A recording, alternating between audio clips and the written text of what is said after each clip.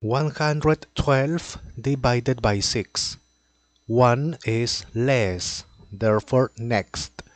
11 is not less, therefore with 11.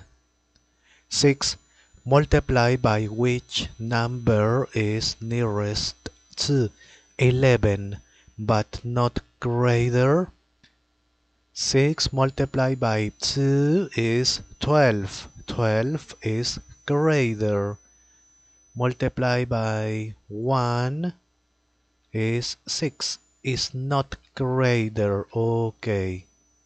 Subtract 11 minus 6 is 5 next.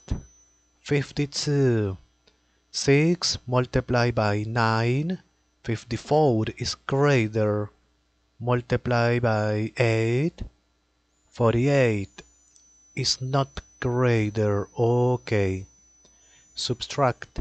52 minus 48 is 4 next. There is not number. Therefore finish it.